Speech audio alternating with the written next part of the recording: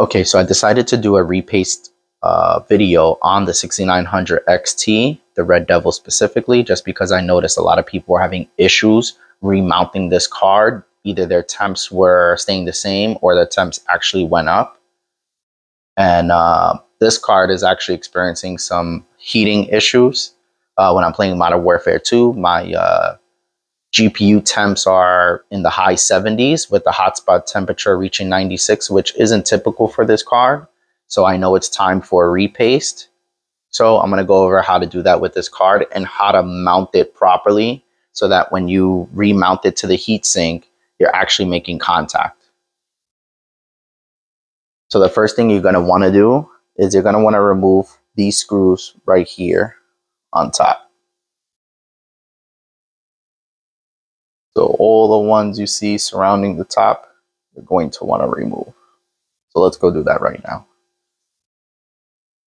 Before you remove it, there is a plug right here. You're going to want to unplug this plug. And also behind the card, right here, you're going to want to remove this plug as well. And just to be careful when you're removing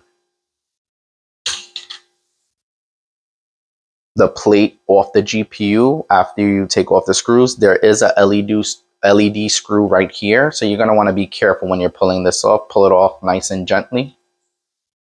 Or you don't want to run the risk of popping that LED out.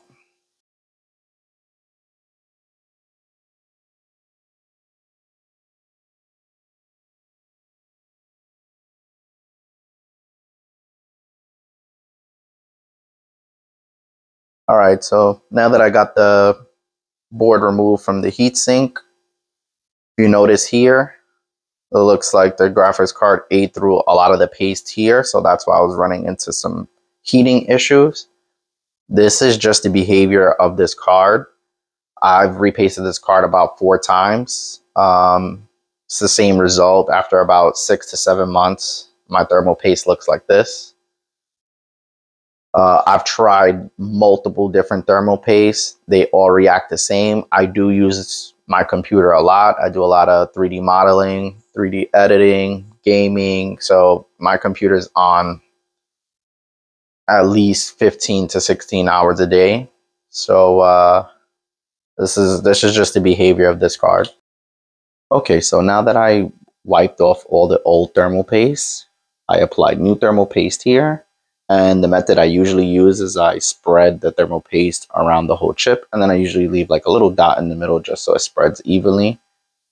I usually get the best results with that. Today we're going to be using um, Noctua's NTH1.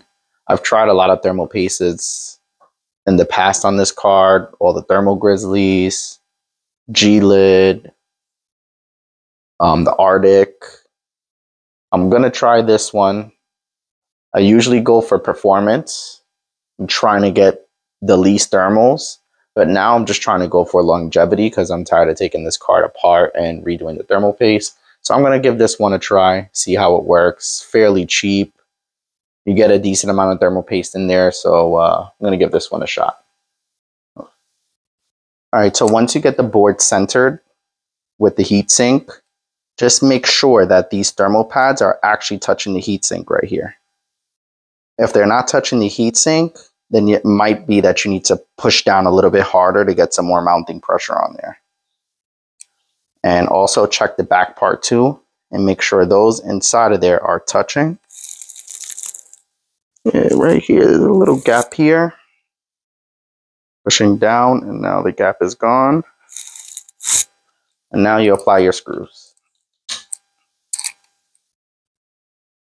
Now I did do the washer mod here. These are nylon washers. These are good to use if you want to apply just some extra pressure to the card. So that's what I do with this card. So I'm going to get this screwed on now.